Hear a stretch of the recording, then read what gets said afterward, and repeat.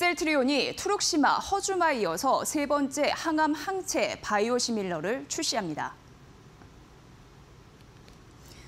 셀트리온은 어제 베그젤마가 식품의약품 안전처로부터 품목 허가를 획득했다고 밝혔습니다.